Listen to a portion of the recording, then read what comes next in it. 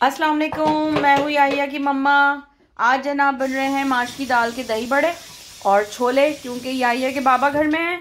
तो जिस दिन वो घर में होते हैं, उस दिन हम दोनों चटोरे, मियाँ बीवी कुछ ना कुछ छोटी छोटी चीज़ें बनाते रहते हैं। अच्छा सब लोग कह रहे थे कि बनाते हुए भी वीडियो शेयर करें। तो अभी ये दाल सोख की हुई अभी ये पिसेगी, फिर इसके बड़े बन के तले जाएँगे तो स्टेप बाय स्टेप इन ताला, आप लोगों के साथ शेयर करूँगी और ये सामान पड़ा है। इसकी चटनी बनेगी। तो आप पीसने जा रहे हैं फिर इन ताला इसकी दिखाती हूँ कि कित, कितना गाढ़ा रखना है इसको और क्या रखना है। ये इस तरह से पहले इसको छलने में डाल के इसका सारा पानी निकाल लेंगे। पीसते टाइम थोड़ा थोड़ा सा हो सकता है कि पानी ऐड करना पड़े लेकिन अभी फ़िलहाल जो इसमें पानी में भिगोया हुआ था वो पानी निकाल दिया है। ये इसमें ये 200 ग्राम दाल है और इसमें बस मैंने अभी फ़िलहाल थोड़ा सा पानी डाला है थोड़ा सा और ऐड कर देती हूँ।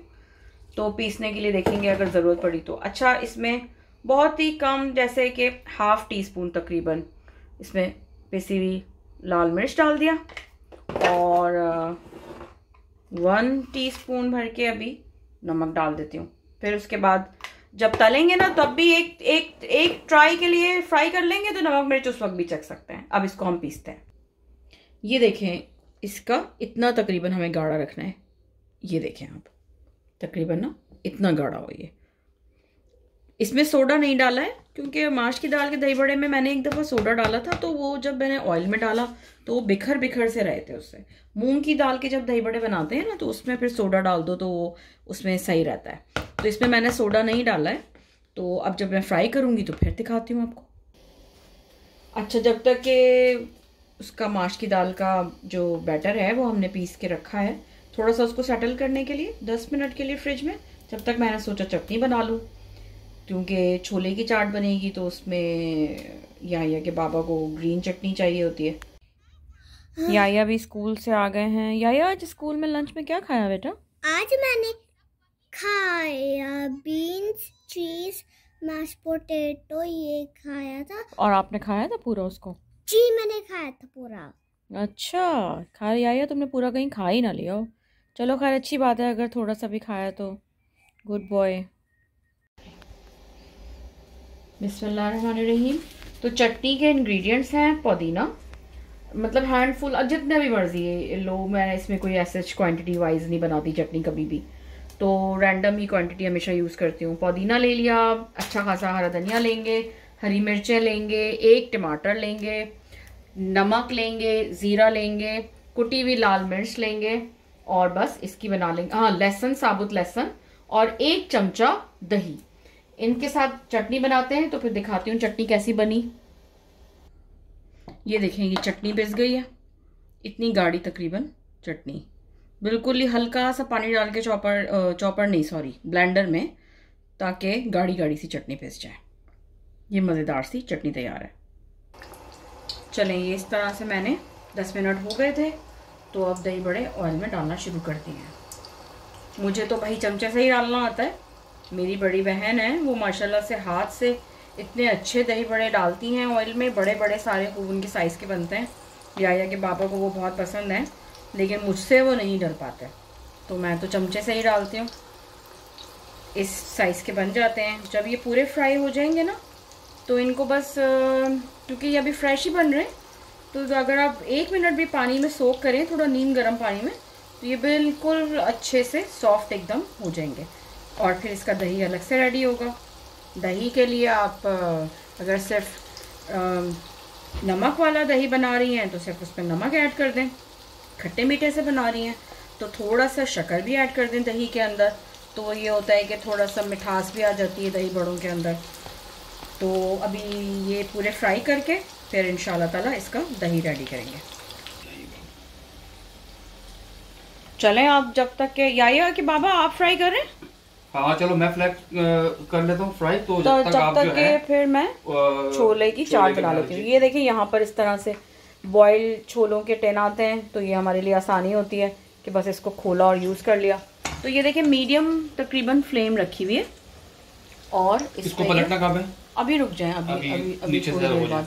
फिर नीचे से हो जाए तो फिर ये एक साथ फ्राई हो जाएँगे। भाई याया के बाबा भी बहुत अच्छे कुक हैं और किसी दिन इन ये कुछ बना रहे होंगे तो फिर मैं इनकी वीडियो शूट मैं बिल्कुल बना के दूँगा आपको नई वीडियो इंशाल्लाह। अच्छा जी छोलों में डालने के इंग्रेडिएंट्स कुछ चाट मसाला है काला नमक है, इमली की चटनी है, ये रेडीमेड यूज़ कर रही हूँ मैं फ़िलहाल, क्योंकि हमारा अचानक ही प्लान बना है अदरवाइज़ घर में भी बहुत मज़े की इमली की चटनी बनती है, और हरी चटनी अभी हमने आपके सामने बनाई है। प्याज हमारे मियाँ बहुत अच्छी बारीक काटते हैं, वो उससे अनियन स्लाइसर से, वो मैं आपको अभी करके, करते हुए उनको दिखाती हूँ। ये देखें, इस तरह से अनियन स्लाइसर से। आराम से प्याज कट जाती है और बहुत बारीक कट जाती है। इसको आप एडजस्ट भी कर सकते हैं। मोटा, बारीक प्याज को आपको करना हो तो। तो अभी हमें थोड़ी बारीक चाहिए तो हमने इस तरह से इसको आराम से कर लिया। ये जनाब दही बड़े बन के तैयार हैं मतलब इसके सिर्फ़ बड़े। ये गोल्डन गोल्डन से फ्राई हो गए हैं बिल्कुल। अब इनको थोड़ी देर के लिए थोड़ा नीम गर्म पानी में सोख करेंगे। फिर इन ताला इसका दही रेडी करके। और यहाँ मैं ये छोले की तैयारी कर रही हूँ। तो उसमें मैंने सारी मसाले डाल दिए थे जो मैंने आपको दिखाए थे। थोड़ा सा टमाटर काटा है, हरा धनिया काटा है, प्याज कट रही है, आलू बॉयल हो रहा है उसका। रहीम ये दही देखें। दही इसका रेडी हो गया। दही मैंने तो गाढ़ा रखा है, हम लोगों को गाढ़ा गाढ़ा अच्छा लगता है।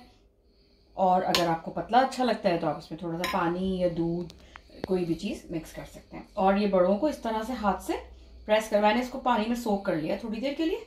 अब ये प्रेस कर करके इसमें इस तरह से डालते हैं ये गर्म है अभी बहुत ज़्यादा तो मुझे हाथ से सही से इतना वो नहीं हो रहा। मैं थोड़ा सा चमचा यूज़ कर लेती हूँ ताकि हाथ में मेरे गर्म गर्म पानी उसका ना जाए।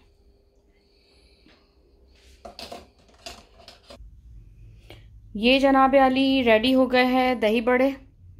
ये इसके ऊपर मैंने इमली की चटनी और चिली सॉस मुझे मज़े का लगता है। चाट मसाला थोड़ी सी प्याज गार्निश की है। ये छोले हैं। अनवर आ जाएँ। हाँ चलो मैं आ गया। चलो तो आप अब जरा प्लेट बना के भी दिखाएँ एक मज़ेदार सी। दिखा दो मेरे मुँह तो पानी आना शुरू हो गया मैं प्लेट बनाता हूँ। बिस्मिल्लाहिर्रहमानिर्रहीम। ये देखें जी छोले लिए हमने। आप हद पे जायका लें। इसके बाद दही बड़ा। हुई हुई हुई हुई ज़बरदस्त।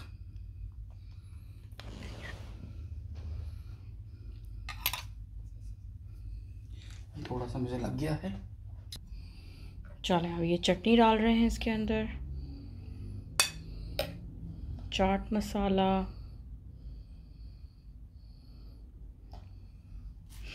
पापड़ी।